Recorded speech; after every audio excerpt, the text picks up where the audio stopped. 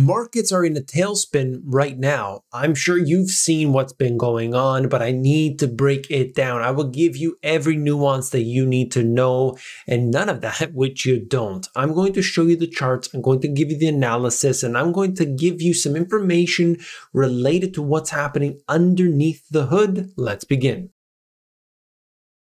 Before I show you the charts, I just wanted to give you this. Jeremy Grantham doubles down on Crash Call says sell-off has started. GMO co-founder predicts a drop of almost 50% in benchmark stocks. Investor favors over C value stocks, cash, commodities, and gold. Now, throughout this period, he hasn't exactly been accurate. You looked at what happened in previous instances, calling multiple crashes. Yes, absolutely.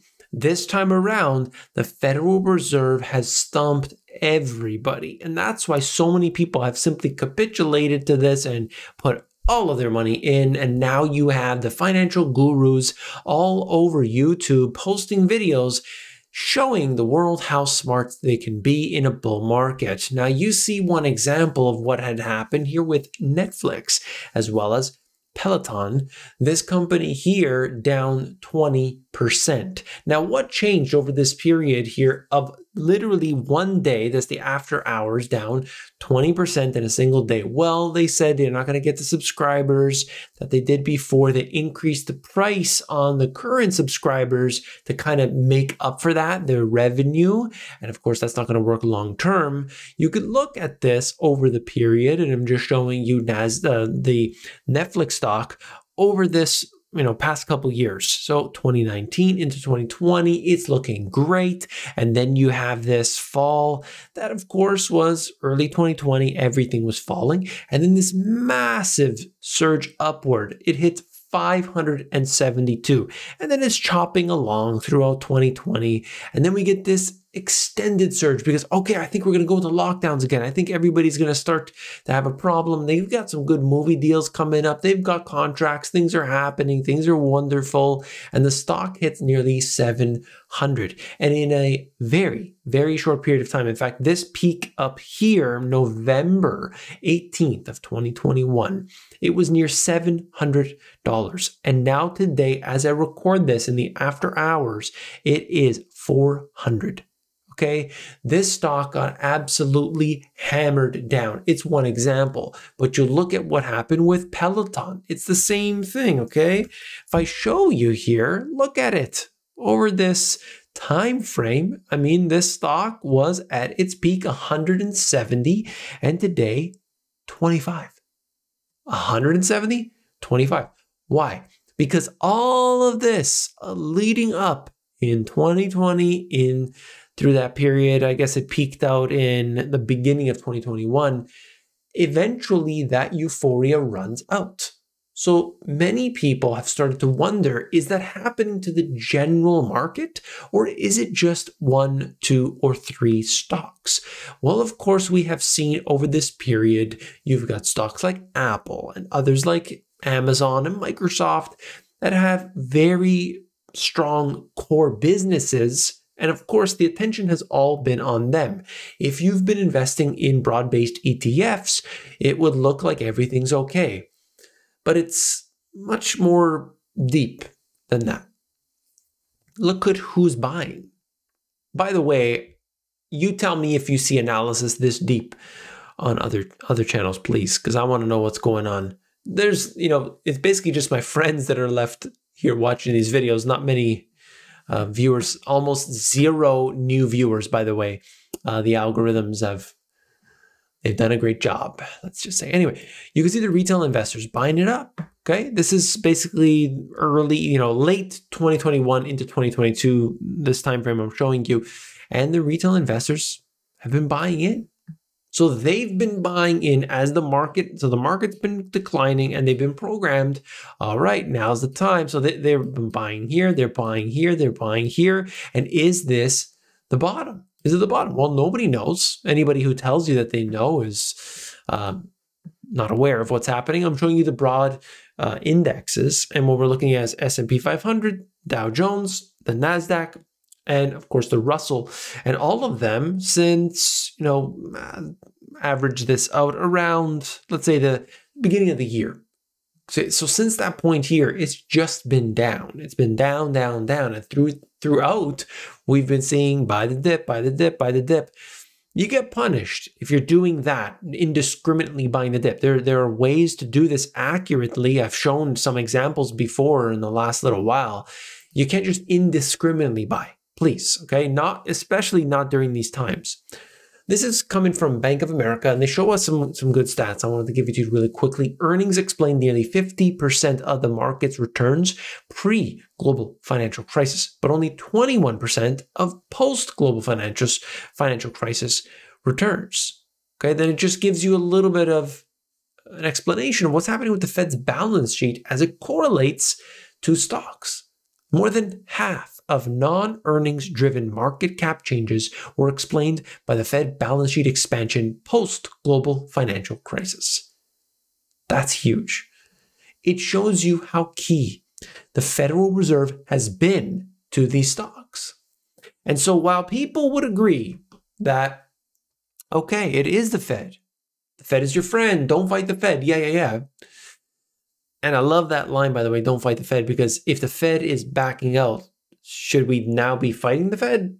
Right. Well, I don't think Reddit's going to be using that line too much any, anymore. But anyway, um, what I see here is very, very key to understand is that the Federal Reserve printing less money doesn't even matter if they're going to increase interest rates. You know, we're not going to get the 20% Volcker type interest rates likely. It's not going to happen. But as I have said many times before, think about what has happened, the conditions in the previous cycles. My guess is somewhere around 0.75 to 1.0 on the Fed funds rate would be enough to crush this thing. And that's only a few rate hikes away. So, you know, if they're going in that direction, what happens to stocks? Well, historically, doesn't look very good. I'm not saying that this right now, what we're seeing in the markets, you know, to as you watch this video, in fact, the markets could be going higher. But look at what happened on was a Thursday's trading session. Uh, Thursday's trading session, the market was up unbelievably. It was doing so well at the beginning of the day. Suddenly things turned around. Okay, so watch out. Be very careful. That's all I'm saying. Fed contributed more to corporate cash, not necessarily to consumer cash. And I think most people know this, but you can see the difference between the M2 and the Fed balance sheet. And for the average consumer, it's not Fed money going directly into their bank account. That's clear. But when we see money being pumped out through the fiscal side, through the government side, well, then of course, that can make its way to the consumer. I don't know how much makes it to the consumer anyway, but clearly the Fed is helping out the you know the corporates the the big banks the institutions and so on more than anything else. Let's talk about yields. Let's talk about bonds. Let's look at the markets here for the last few minutes of this video. Stick with me. I got a lot of detail if you appreciate it simply hit that thumbs up button. It's right down there. Hit it. Not softly. If you hit can actually smash it. That usually works uh, better. Yeah definitely surging real yields jar the markets eyeing the end of easy money era. Inflation adjusted treasury yield jump during the January sell off. Markets brace for pullback of massive stimulus. That's right, the market is simply pricing it in. What happens tomorrow, we don't know. But as of right now, that's what's going on. Look at the negative yields that we're seeing today in real in real terms. Real treasury bond yields Real Treasury bond yields fell into deeply negative territory in 2021. In elementary economic models, this event taken in isolation would qualify as a plus for economic growth in 2022 and would be consistent with the strength indicated by fourth quarter 2021 tracking models. It's supposed to be good, but, but, there's a big but there. Lacy Hunt, they're referring to, had a different view, however. His analysis shows that negative real yields are associated with recessions. Debt overhang and demographics make the matter worse. They give you the chart going back from 1902 up until the present, and that's what we see. So, what does that mean? The conditions of today are not positive. let me just break it down in English. Okay, let me give you the dictionary explanation, the urban dictionary, maybe. I don't know. This is just a way, by the way, I'm not exactly clear on what the urban dictionary is, so I shouldn't be using that term, but it just gives you an insight as to what's happening. I will include the links in the description as always, but let me just tell you things are not good in that respect. And that is not, you know, that could be, you know, three months from now, it could be a year from nobody knows. But ultimately, it just shows the weakness there. This is the real yields 1870 to 2021, and it's in the negative right now. In the negative. You haven't seen this because there hasn't been that much inflation over the period. But if you look back, okay, 1980, what has happened since? Well, of course, that's been declining, declining, declining, declining. Now we are in this negative range. We saw this back in the 70s, of course, because of how high inflation was. And then what did the central banks do? Well, they had to go wild on the Fed funds rate. All, you know, not all central banks, but many, many went in the same direction real 10 year government bond yields, Japan, Euro, UK, and the US, all generally in the same direction over the last couple decades. Okay? Now, let's get a little deeper. I just wanted to show you something really quickly before we finish off this video. We're looking at what's happening with imports because this affects you directly. Imports take dramatically longer to reach US as bottlenecks bite. I just covered in the previous video to this that very few people watched, talking about how the truckers coming from US into Canada were saying, uh, you know, you got a mandate here, you got this restriction here, I can't come across. Suddenly, Canada can't get the food that it needs. Now, as I have seen many times in the comments, and I do appreciate this because I'll do videos about store shelves don't have the products, bananas in shortage. My goodness, hopefully, hopefully that's not widespread. Looking at all these different things, and other people will say, not at all. Stocked shelves, no problems here, nothing there. But what I have noted, and I've seen this personally, I ask a lot of questions to everybody that I can personally, as well as you know looking into the data I ask for the comments and so on. Many people think that is this is like, oh, he's just trying to get the algorithms. Look, the algorithms have it in for me. It's over. It's over in that respect. I'm literally obsessed with the data. I'm obsessed with this information at this point. Okay. It makes no financial sense for me to do this. That is just between you and I. Okay. If you made it 13 minutes into the video, regardless, what I'm seeing here is that as we moved on over the, these last few months, things went from some areas being completely stocked up to now saying, oh, suddenly I can't get that lettuce. Suddenly I can't get those, you know, potatoes or whatever it might be.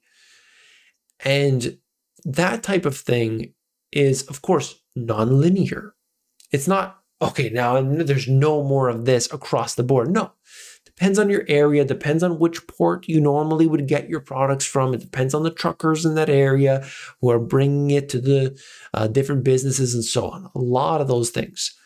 But what I'm seeing here is a big problem, and unfortunately, uh, there is no resolution to this in the short term. Trans Pacific eastbound routes are taking longer than ever. So, what I'm seeing is still the same conditions from before, really, uh, you know, I hate to be the messenger like this. It's just getting worse. And so what do we do? What what can we do? Well, the one thing is to take care of yourself and your family first. Um, I don't tell people what I do personally, but I think it would be wise to be prepared Okay, so if you don't have your food situation in order, you don't have an orchard in your backyard, and you're not growing a garden that could feed an army, no, you got to buy some stuff that stays a long period of time. Maybe that's beans and rice and pasta and, you know, lentils and all these different things that if you keep them dry, if you keep them in a cool space, they will go for months or years if they're packed properly. And I think that that's just wise. Like it's not the astronaut food. I'm talking about things that are simply, you, know, you might eat them and you might not even want to eat them, but hey, you can keep them. That's the point anyway. Just something simple like that. What about your water situation, your energy situation? Are you able to deal with a crisis, at least to the level experienced in the 1970s? Maybe to the level of the 1930s. Can you deal with that? If not, I think people should start to ask that question what can I do today, right now, with the funds, with the resources, and the knowledge that I have? So that's up to you to decide what to do. If you appreciate the information, hit that thumbs up button. If you've got anything to share, always put it down in the comments below. I read all the comments now, 10 years and running it. Okay. That's all. If you um, haven't seen this video yet, you definitely want to check it out. Click it, and I'll see you there.